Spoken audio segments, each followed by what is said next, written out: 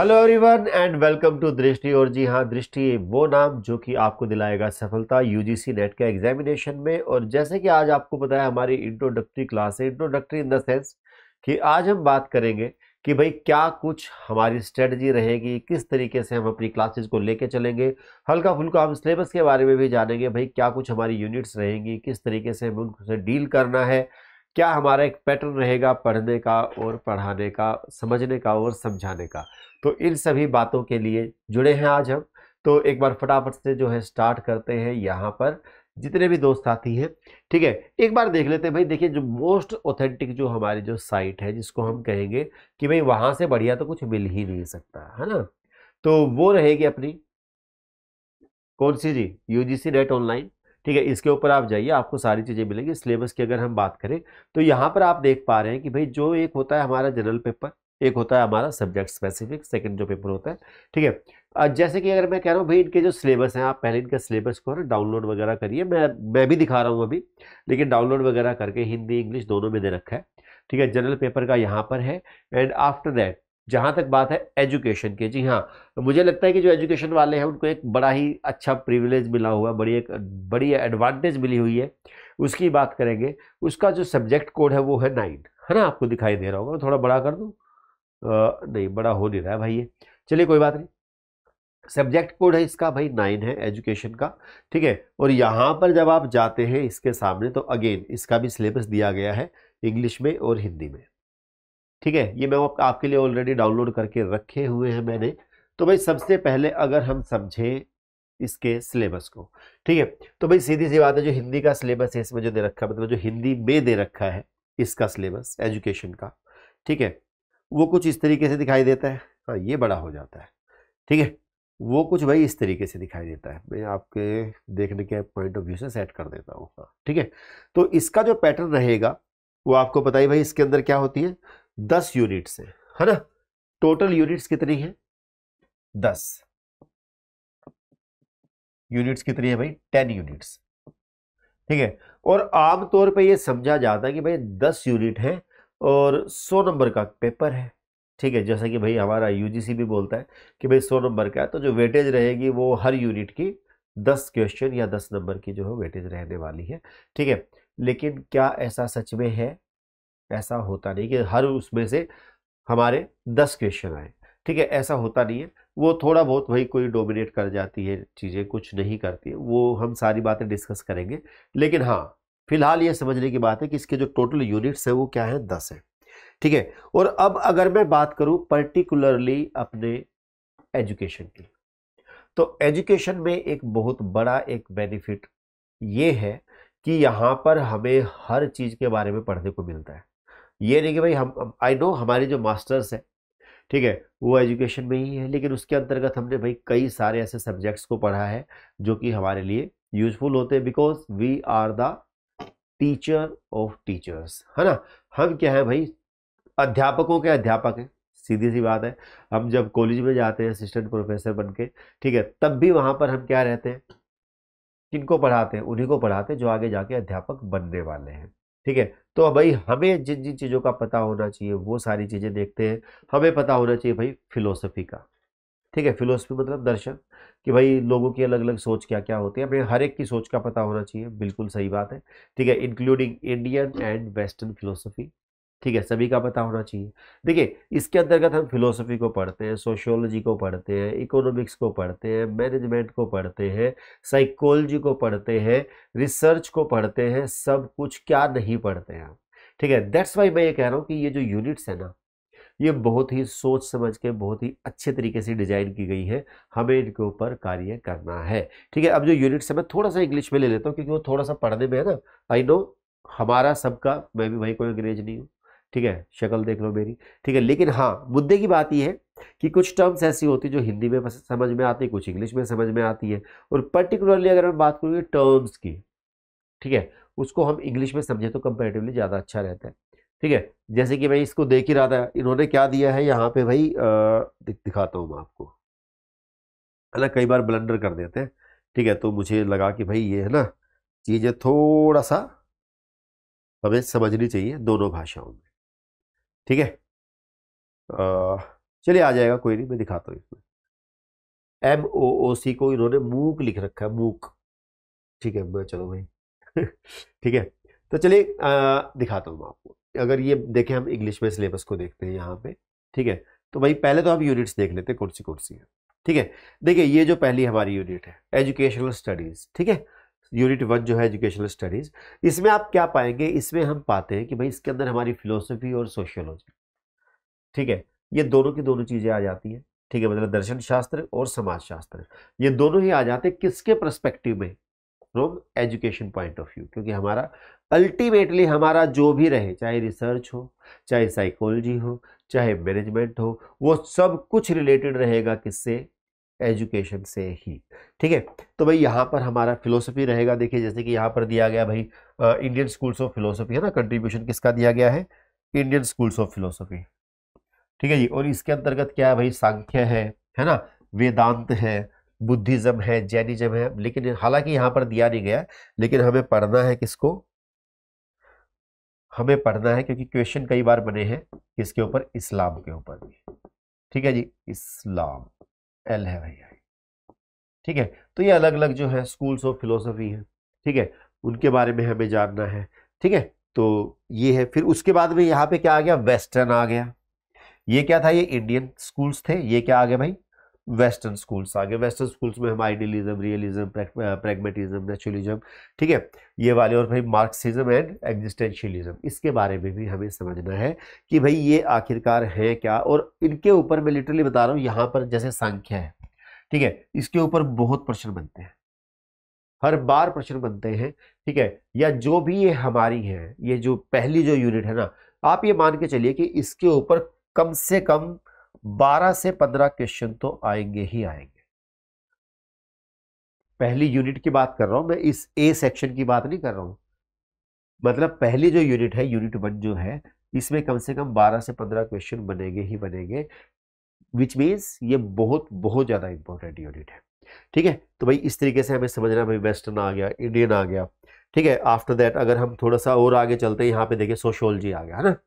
Approaches to sociology of education देखिए, हम आज ज़्यादा डिटेल में नहीं जाएँगे, क्योंकि डिटेल में जाने के लिए हम तब जाएँगे जब हम एक एक को पकड़ेंगे, जैसे कि हम शुरुआत करेंगे किससे? यूनिट वन से ही करेंगे और वहाँ पर हम बात करेंगे भाई इंडियन फिलोसफी की या इंडियन स्कूल्स ऑफ़ फिलोसफी की हम बात करेंगे। तो वहाँ पर एक एक को समझेंगे और जो हमारा पैटर्न रहेगा पैटर्न भी ये रहेगा। क्या? कि जैसे हम सांख्य को पढ़ रहे हैं तो सांख्य से रिलेटेड अभी तक जितने भी क्वेश्चन बने हैं, हम उन क्वेश्चंस को साथ के साथ ही करते रहेंगे। कैसे?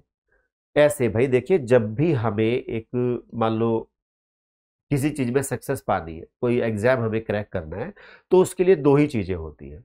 कौन सी कौन सी भाई?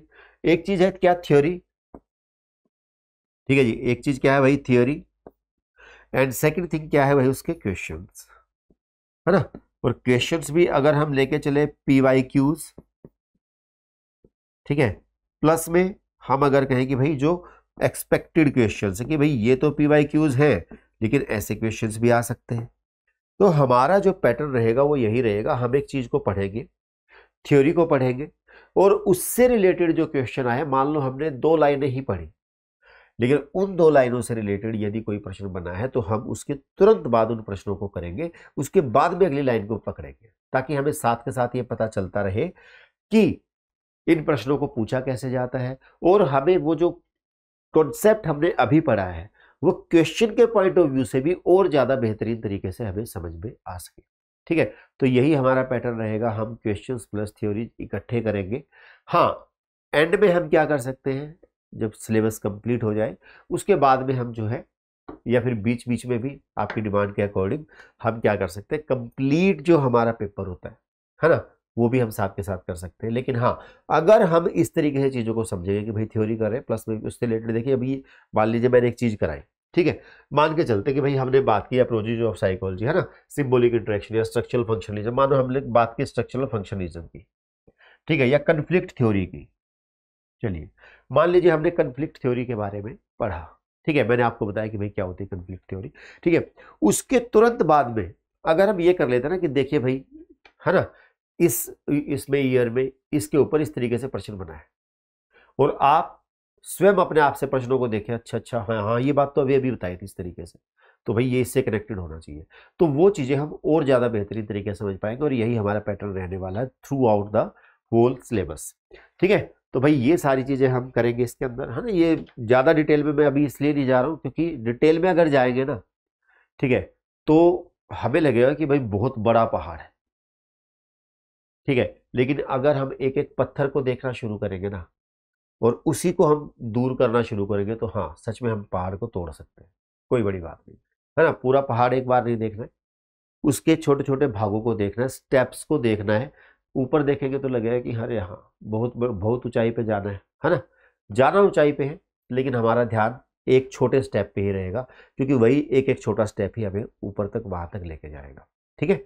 तो चलिए भाई और आगे बात करते हैं। देखिए, यहाँ पर क्या आ गया? सोशलाइजेशन मतलब आप समझेंगे कि जो ये फ़र्स्ट यूनिट है, इसमें टोटल चार टॉपिक है है ना? और इन चारों में से दो हैं हमारे फिलोसफी के इंडियन और वेस्टर्न ठीक है, और दो हैं हमारे कहाँ से? सोशलाइजेशन से। सोशोलॉजी सोशलाइजेशन है ना? और इनमें देखिए, हमारे थिंकर्स भी आ जाते हैं। ठीक है? इसी में क्या आ गया भाई? हमारे थिंकर्स भी आ जाते हैं, है ना?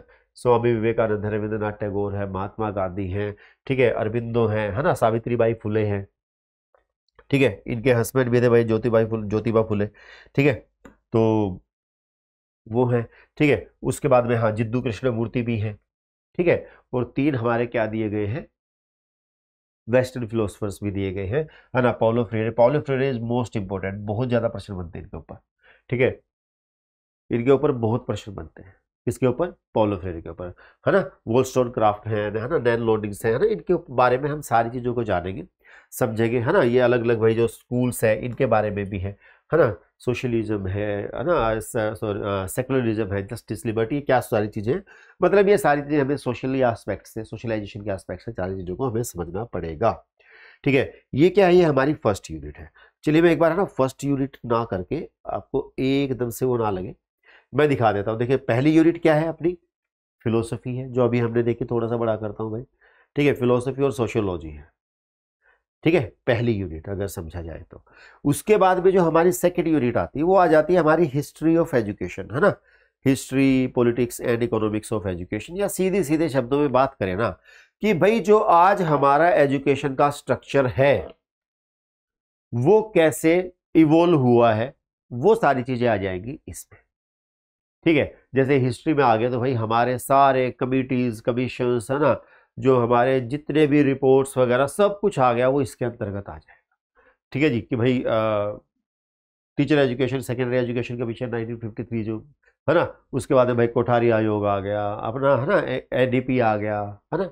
एन पी भी इसके ऊपर इम्पैक्ट डालेगा। ठीक है? उसके बाद में भाई अपना ये आ गया एनसीएफ आ गया, है ना? नेशनल नॉलेज कमीशन आ गया 2007 है ना? यशपाल कमेटी मतलब ये सारी चीज़ें जो अभी हम इसके डिटेल में नहीं जा रहे हैं, क्योंकि हमें धीरे धीरे चीज़ों को समझना लेकिन मैं बस ये बताना चाह रहा हूँ कि जो हमारी सेकेंड यूनिट है, वो क्या रहेगी पहली बात? हिस्ट्री ऑफ़ एजुकेशन ठीक है? पॉलिटिक्स पॉलिटिक्स की जगह पे यहाँ पे पॉलिसीज़ होता तो ज़्यादा अच्छा होता, क्योंकि पॉलिसीज़ की ही बात करेगा पॉलिटिक्स की बात नहीं करेगा, कि भाई जो पॉलिसीज़ आती है पॉलिसीज़ मतलब नीतियाँ जो आती हैं, ठीक है? हाँ पॉलिसीज़ एंड एजुकेशन के बीच में भाई क्या कुछ रिलेशन है भाई? किस तरीके से हमारी जो पॉलिसीज़ हैं?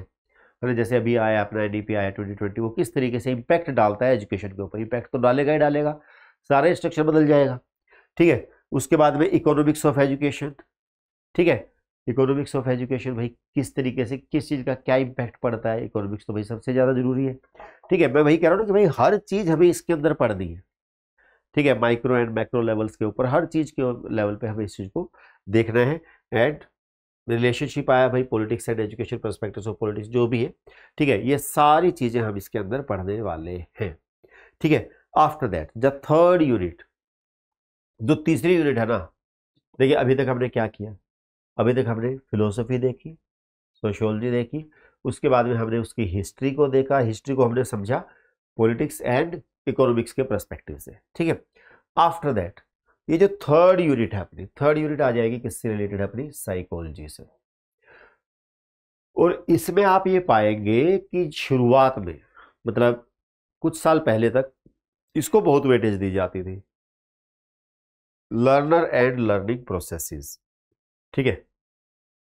यूनिट थर्ड जो है, इसको बहुत ही मतलब दिया जाता था भाई कि वेटेज दी जाती थी कि भाई यहाँ से काफ़ी प्रश्न बनते थे। लेकिन अब, आजकल की अगर बात करें, क्योंकि ये हमारा जो एग्ज़ाम है है ना? क्योंकि ये जो हमारा एग्ज़ाम है ना, ये किसके लिए है? एजुकेशन के लिए। दैट्स वाई इसको अभी जो है, आजकल जो है कंपेरेटिवली कम वेटेज दी जाती है।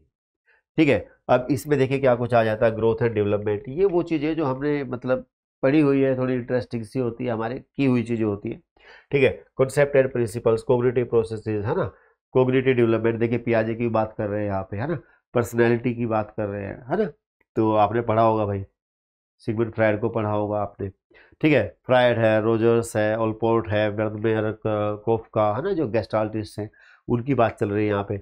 और देखो कितने सिंपल सा एक टॉपिक दिया है mental health and mental hygiene है ना? बिल्कुल सिंपल सा, कोई बहुत बड़ा वो नहीं है, लेकिन हाँ प्रश्न बनते हैं। कोई इशू नहीं है। ठीक है, उसके बाद है भाई intelligence from unitary to multiple है ना यूनिटरी थ्योरी जो अपने आप क्या बोलते हैं बिने ने दिया, है ना multiple theory theory of multiple intelligence Gardner ने दिया, वहाँ से वहाँ तक की सारी चीज़ें मतलब ये सारी चीज़ें इसमें दी गई स्टर्नबर्ग का गार्डनर का, है ना problem solving critical thinking metacognition ये सारी चीज़ें इसके अंदर दी गई है। ठीक है, इसके भी चार ही सेक्शन रहेंगे क्या कुछ है भाई? है ना थ्योरीज ऑफ़ लर्निंग है ना, लर्निंग के ऊपर भी क्वेश्चन बनते हैं, लेकिन आजकल कंपेरेटिवली कम हो गया उसके बाद में गाइडेंस एंड काउंसलिंग है ना, ये हमारी जो रहेगी। हालाँकि ये लर्निंग से रिलेटेड नहीं है, ठीक है, लेकिन हाँ फिर भी ये गाइडेंस एंड काउंसलिंग इसका ही पार्ट बनाया गया है, ठीक है। टाइप्स ऑफ़ काउंसलिंग कौन सी कौन सी है, क्या डिफरेंस है गाइडेंस काउंसलिंग में, ये सारी चीज़ें जो हैं, है ना, वो इसके अंतर्गत दी गई है, ठीक है। चलिए, अब देखिए एक चीज़ को यहाँ पे आपको एक पैटर्न को समझना है। मैं कहूँगा unit two four and seven ये तीनों यूनिट जो है ना, ये बहुत ही ज़्यादा इंपॉर्टेंट है और तीनों की तीनों क्या है इंटर रिलेटेड है। तीनों ही इंटर रिलेटेड है क्यों क्योंकि सेकंड यूनिट में हमने क्या देखा था हिस्ट्री को देखा था। किसकी हिस्ट्री को? एजुकेशन की हिस्ट्री को। है ना? हिस्ट्री को देखा था कि भाई किस तरीके से इवोल्व हुई है आज तक। उसके बाद में जैसे ही हम आते हैं, फोर्थ पे तो आप पाएँगे भाई teacher education.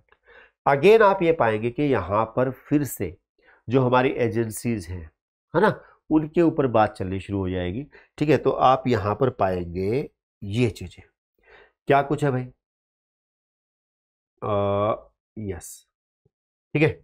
Meaning and nature and scope of teacher education है ना? Types of teacher education program structure of teacher education NCERT क्या है? ठीक है जी? एनसीटी, क्या है, ये सारी चीज़ें है ना? प्री सर्विस टीचर है ना?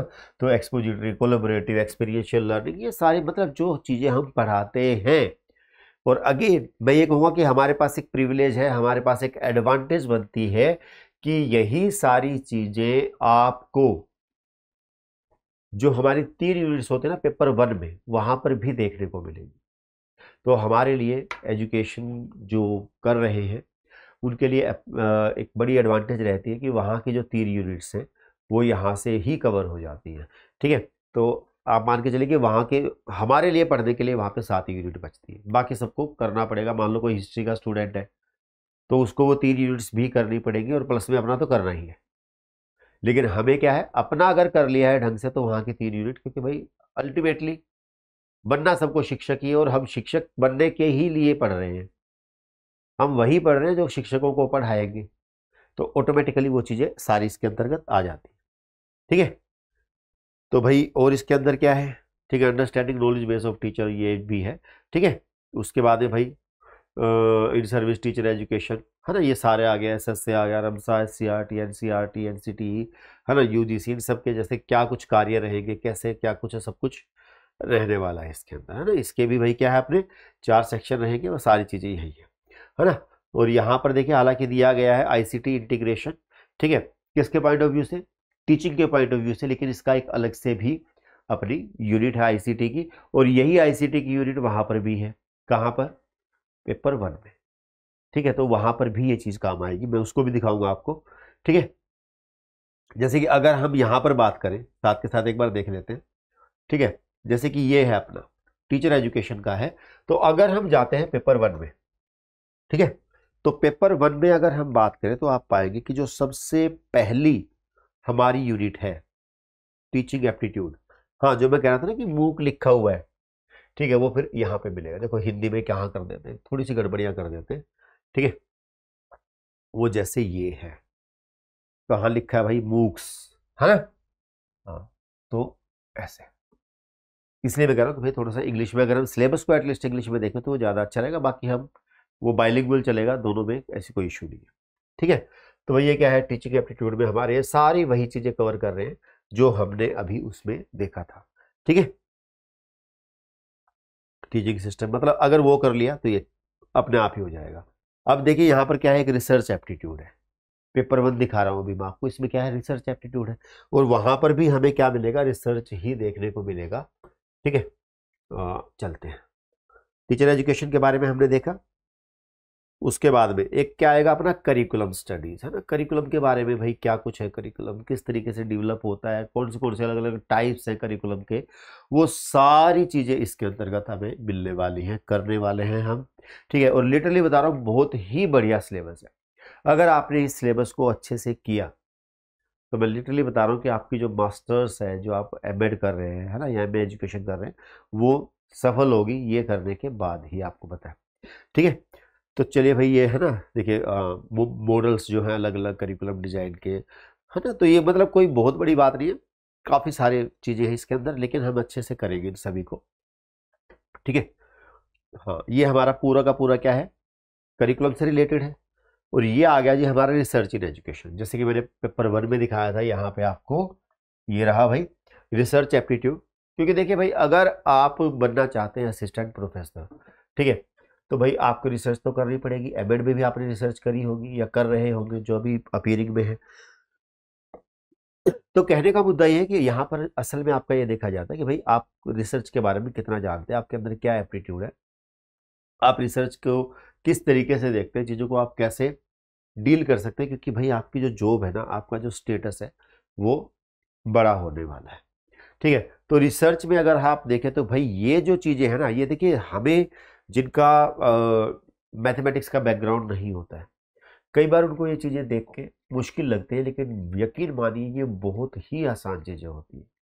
है ना? स्टेट्स का भी पोर्शन रहता है और स्टेट्स में आप मानिए कि जिसको बेसिक मैथमेटिक्स आता है और जो सीखना चाहता है, मैथमेटिक्स नहीं मतलब जिसको लगता है कि हाँ मुझे स्टेट्स सीखना चाहिए, सीखना पड़ेगा क्योंकि इसका ही कि यूनिट का ही एक पार्ट बनेगा ठीक है, जिसके अंदर वो रहेगा। देखिए, जैसे कि इसमें आ गया भाई रिसर्च के बारे में बताया, भाई कौन सी कौन सी अलग अलग टाइप्स की जो रिसर्च होती है, वो सारी चीज़ें, है ना? वो बताया गया है, ठीक है? उसके बाद क्वांटिटेटिव क्वालिटेटिव है ना? फंडामेंटल अप्लाइड जो भी है, ठीक है? एक्शन रिसर्च ये सारी चीज़ें दी है, ठीक है? उसके बाद में वेरिएबल्स के ऊपर आ गया अपना। अगला जो अपना पार्ट बना।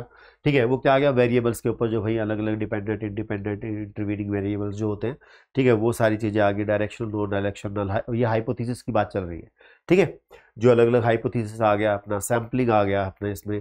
ठीक है मतलब ये सारा रिसर्च से रिलेटेड है, लेकिन लिटरली बता रहा हूँ, ये बहुत ही आसान चीज़ होती है, अगर समझ के किया जाए तो। कोई बहुत बड़ी बात नहीं होती, है ना? स्केल्स के ऊपर आ गया, है ना? Nominal ordinal interval ratio scales जो होते हैं, है ना? किस तरीके से हम उनका यूज़ करेंगे? ठीक है? या क्या कुछ किसकी भाई क्वालिटीज होती है, ये बहुत ज़्यादा इंपॉर्टेंट है। मैं आपको बता रहा हूँ कि आज के टाइम पे, है ना?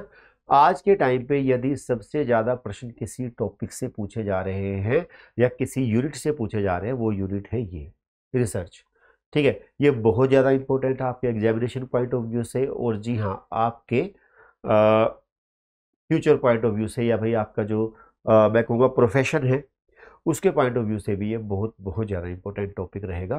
ठीक है तो आपको इसको क्या करना है सोच समझ के बड़े अच्छे से सीख के चलेंगे। हो सकता है हमारा इसमें थोड़ा टाइम ज़्यादा लग जाए इस यूनिट में लेकिन हम इसको बड़े अच्छे से समझ के चलेंगे और टू द पॉइंट चीज़ों को समझेंगे। और मेरा तरीका भी यही रहता है कि मैं बस जो हालाँकि आज तो हम कुछ पढ़ नहीं रहे हैं सीख नहीं रहे जस्ट एक बार ओवरव्यू कर रहे हैं कि भाई आखिरकार इसमें है क्या। और वो भी बिना बहुत ज़्यादा डिटेल में जाए।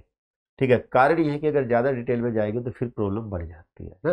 तो इसीलिए मैं ये कह रहा हूँ कि अभी हम सिर्फ़ ऊपर से देख रहे हैं, है ना? जूम इन करते जाएँगे, धीरे धीरे धीरे धीरे, बिल्कुल डिटेल में पहुँचेंगे। जैसे गूगल अर्थ होता है ना, दूर से देखते और फिर धीरे धीरे धीरे धीरे पास से आता है। ठीक है तो अभी हम सबसे ज़्यादा दूर से अभी हम इन चीज़ों को देख रहे हैं। ठीक है, बाकी धीरे धीरे चीज़ों के अंदर जाना है। समझना है और जैसा कि मैंने कहा कि अब तक के जितने भी प्रश्न बने हैं, उन सभी को हम लेके चलेंगे। इट मीन्स हम कुछ भी नहीं छोड़ने वाले हैं कहीं से भी। ठीक है?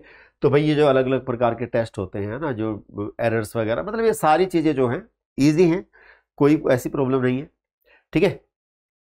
रिसर्च डिजाइंस वगैरह हैं, ये सारी चीज़ें हैं। ठीक है? और इसी में जो मैंने कहा आपको कि भाई आ जाएगा स्टेट्स का ही पार्ट आ जाएगा तो वो भी हमें लेके चलना है, करके चलना है। ठीक है? चलिए जी। अब आ जाती है बात भाई क्या pedagogy andragogy and assessment again मैं कहूँगा कि भाई जो हमारी चीज़ें आ जाती है कि भाई बच्चों को पढ़ाएँ कैसे, है ना? यूनिट सेवन की अगर बात करें अगेन मैंने क्या कहा था आपको? यूनिट सेकंड जिसमें आया था हिस्ट्री है ना? हिस्ट्री और सोशोलॉजी आया था जिसमें सॉरी हिस्ट्री आया था जिसमें और इकोनॉमिक्स आया था, ठीक है? Unit second unit four teacher education के जो बारे में जिसमें हमने जाना, ठीक है? And unit seven this one ये तीनों क्या है? ये इंटरकनेक्टेड है। ठीक है ये तीनों क्या है? इंटरकनेक्टेड है इंटर रिलेटेड है। तो इसमें आप देखेंगे भाई पैडागोजी सीधी सी बात है भाई पढ़ाएँ कैसे? Pedagogy is nothing but how to teach है ना? टीचिंग है ना? या भाई एजुकेशन सीधी सी बात करें तो है ना? आ, किसको पढ़ाना? पैडा पैडा मीन्स छोटा बच्चा बालक को पढ़ाना। अब यहाँ पे बड़ी बात ये आती है कि हालाँकि आपको भाई बड़े बच्चों को पढ़ाना है। बड़े बच्चे इन द सेंस जो कॉलेज में जा रहे हैं आफ्टर स्कूल जा रहे हैं, उनकी बात चल रही है यहाँ पे। ठीक है? जिसको हम कहते हैं एंड्रागोजी एंड्रागोजी मतलब जो बड़े बच्चों को पढ़ाते हैं।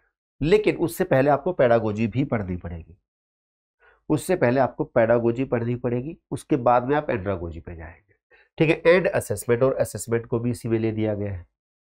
है ना? आकलन कह लीजिए, मूल्यांकन कह लीजिए इवेल्युएशन है ना? तो उसको जो है इसी के अंतर्गत सारी चीज़ें आ जाएँगी। तो भाई पैडागोजी में अगर हम बात करें तो भाई पैडागोजी पैडागोजिकल एनालिसिस है ना concept of stages critical pedagogy ये सारी चीज़ें इसमें आ जाएँगी, है ना? लेवल्स आ जाएँगे जैसे ये, है ना? Memory level understanding level reflective level इस तरीके से ये सारी चीज़ें आ जाएँगी, ठीक है? आफ्टर दैट ये अलग अलग मॉडल्स हैं है ना? एंड्रागोजी के पॉइंट ऑफ़ व्यू से थ्योरी ऑफ़ एंड्रागोजी है ना? है ना? मेलकम नोल्स की जो आएगी, है ना? तो ये सारी चीज़ें आ जाएँगी। असेसमेंट अब यहाँ पे देखो ये केवल एक है ये, है ना? यहाँ पे ये जो है यूनिट में से एक जो पार्ट दिया है, वो इसका दे दिया है। उसके बाद में अपना शुरू हो जाता है असेसमेंट यहाँ से, है ना? असेसमेंट में आपको क्या करना भाई? ब्लूम टेक्सोनोमी को करना है, बड़े अच्छे तरीके से डिटेल में करना है। है ना? ये नहीं कि भाई तीन डोमेन्स दे दिए कोग्रेटिव इफ़ेक्टिव नहीं। डिटेल में करना पड़ेगा। है ना, उसकी करेक्टरिस्टिक्स को समझ के करना पड़ेगा। वो सारी चीज़ें देखो फॉर्मेटिव सबमेटिव डायग्नोस्टिक प्लेसमेंट ये सारे प्रकार के जो हमारे असेसमेंट होते हैं, वो देखना है। उसके बाद में assessment in pedagogy in education है ना? ये सारी चीज़ें हमें करनी फीडबैक डिवाइसेज वगैरह। ठीक है आफ्टर दैट अब ये देखिए, यहाँ पर क्या है? पैडागोजी के पॉइंट ऑफ़ व्यू से दिया है, यहाँ पर दिया है assessment andragogy point of view से। मतलब बड़े बच्चों को आप कैसे एसेस करोगे? ठीक है, वो सारी चीज़ें दी है इन्होंने। ठीक है, अब ये वाली जो है ये वाली भाई बहुत ज़्यादा इंपॉर्टेंट है। एट्थ जो आ गया अपना, है ना टेक्नोलॉजी इन एजुकेशन टेक्नोलॉजी जैसा कि मैंने आपको दिखाया था पेपर वन में, है ना? पेपर वन में क्या था? रिसर्च एप्टीट्यूड अभी हमने देखा था थोड़ी देर पहले। उसके बाद में यहाँ पर क्या है? एक यूनिट बनती है अपनी, ये वाली। ये रही, है ना? ICT information and communication technology अब यहाँ पर भी आपको इस यूनिट के अगर करना है तो वो वहीं से ही कवर हो जाती है, कहाँ से? यहाँ से। है ना? टेक्नोलॉजी इन और फॉर एजुकेशन अब इसके अंदर आप देख पा रहे हैं कि भाई ईटी e आ गया अपना एजुकेशनल टेक्नोलॉजी आ गया। ठीक है, यहाँ पर। और यहाँ पर क्या आ गया? आईसीटी आ गया। इंफॉर्मेशन एंड कम्युनिकेशन टेक्नोलॉजी ठीक है, और यहाँ पर जो लेवल रहेगा, वो उसके लेवल से कहीं ना कहीं हायर लेवल रहने वाला जो हमने पेपर वन में देखा था, क्योंकि वो तो सबके लिए कॉमन है। अभी हमें यहाँ पर क्या करना है? यहाँ पर हमें एक एजुकेशनिस्ट के पॉइंट ऑफ़ व्यू से हमें उस लेवल पर चलना पड़ेगा, जो कि उससे हायर लेवल रहेगा तो उसको कवर करेगा। ठीक है? तो भाई यहाँ पर क्या है भाई, है ना? Formal non formal distance learning ये वो, है ना? ये वाली चीज़ें चलेंगी। उसके बाद में भाई,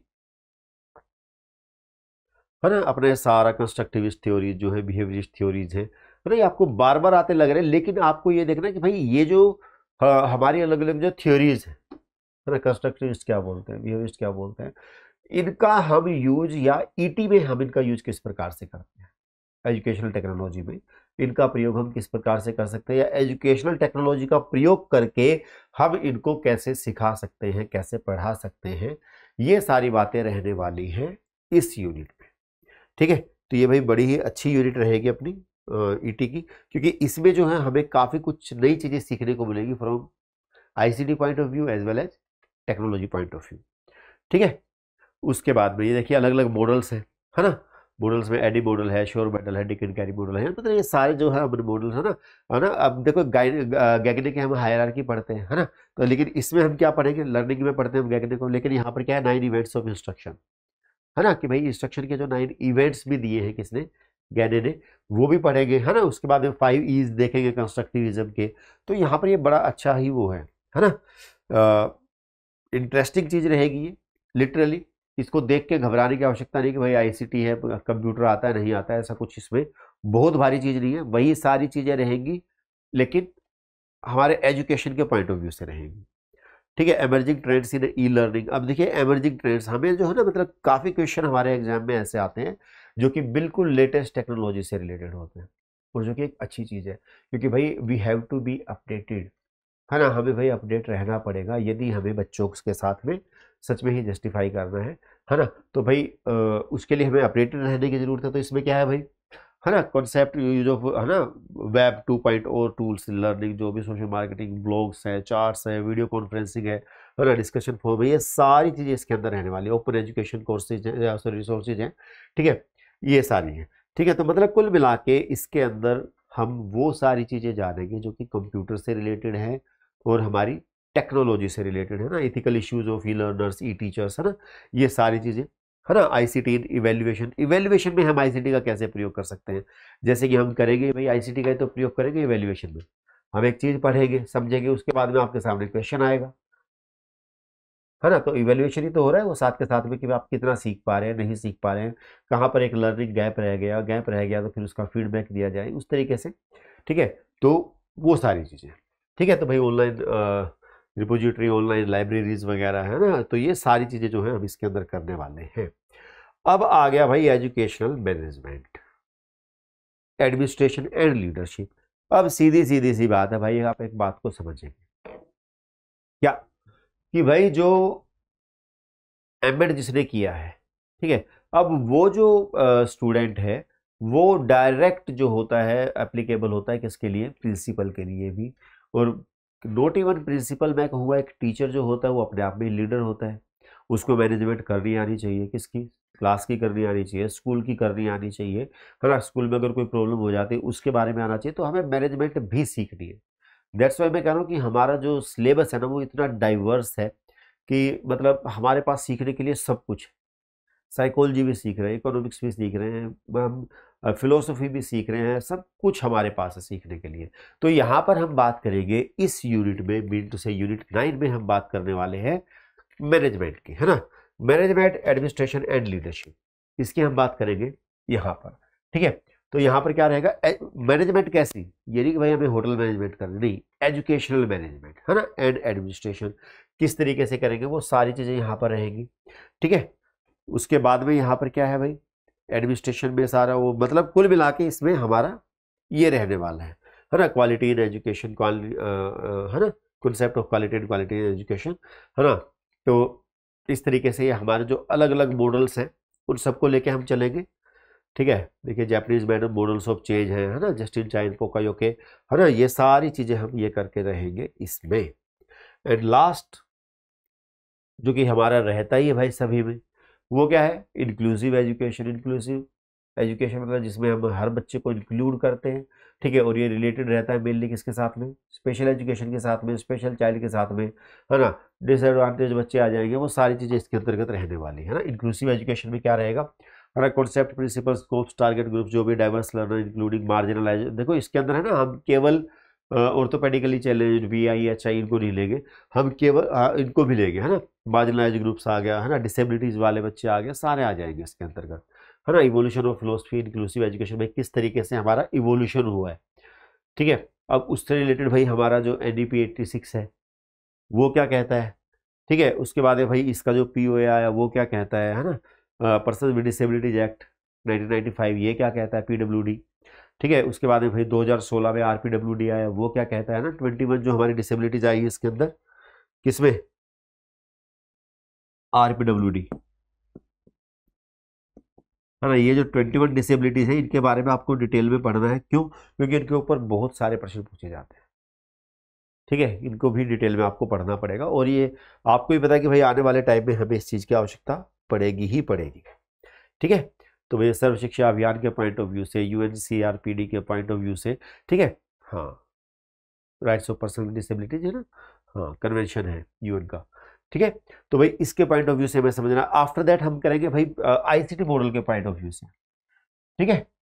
तो भाई क्लासिफिकेशन ऑफ़ डिसेबिलिटी भाई आईसीटी के पॉइंट ऑफ़ व्यू से भाई हम किस तरीके से उसका प्रयोग कर सकते हैं आईसीटी का, इसके अंतर्गत, है ना? Physical and multiple multiple disabilities आ सकती है causes and prevention of disabilities मतलब ये हमारा पूरी जो यूनिट रहने वाली है, किससे रिलेटेड रहेगी? अपनी आईसीटी सॉरी उससे रहेगी किससे? हमारी इंक्लूसिव एजुकेशन से, है ना? चलिए जी planning and management of inclusive classroom भाई किस तरीके से हम प्लानिंग करेंगे? क्या कुछ हम इसमें मैनेज किस तरीके से करेंगे? है ना रोल ऑफ़ पेरेंट्स है पीयर्स है है ना इंडिविज आई ई पी है अपना, ये देखिए। ये हमें हर बच्चे के पॉइंट ऑफ़ व्यू से बनाना होता है। ठीक है? कि भाई क्योंकि हर बच्चे की नीड अलग अलग है तो हम उसका एजुकेशनल प्लान अलग से बनाएँगे हर बच्चे का, ठीक है? तो ये रहने वाला अपना barriers and facilitators in inclusive education भाई क्या क्या बैरियर्स हैं, है ना? क्या क्या बाधाएँ हैं और क्या क्या चीज़ें ऐसी जो उसको फैसिलिटेट करती हैं। फैसिलिटेट मतलब कि भाई उसके लिए सहायक है है ना? तो वो सारी चीज़ें रहेंगी इसके अंदर, है ना? Social and educational current status ethical issues है ना? ये सारी चीज़ें हम इसके अंदर पढ़ेंगे। Research stats in inclusive education in India ठीक है? तो ये भाई हमारी टोटल देखिए टेन यूनिट्स हैं, ठीक है? अभी हमने इनको एक बार सरसरे तौर पर देखा कि भाई टेन यूनिट्स में हमारे में क्या क्या आता है, ठीक है? अब टेन यूनिट्स में अगर हम समझें तो मैं ये कहूँगा कि कुछ यूनिट्स हमारी बहुत ज़्यादा इंपॉर्टेंट है।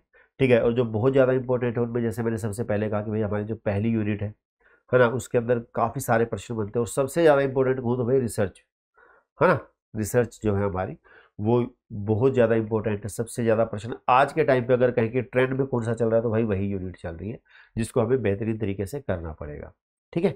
तो ये हमारा टोटल जो है, अभी आपने देखा कि ये हमारी टोटल टेन यूनिट्स हैं, जो कि अपनी पेपर वन की जो थ्री यूनिट्स हैं पेपर वन की थ्री यूनिट्स कौन सी कौन सी? एक तो हमारी टीचिंग एप्टीट्यूड वाली, सबसे पहली, ठीक है? उसके बाद में रिसर्च वाली, ठीक है? रिसर्च एप्टीट्यूड की ठीक है? At the third one is कौन सी है जो हमारी कवर करेगी इसमें? आईसीटी वाली, ठीक है?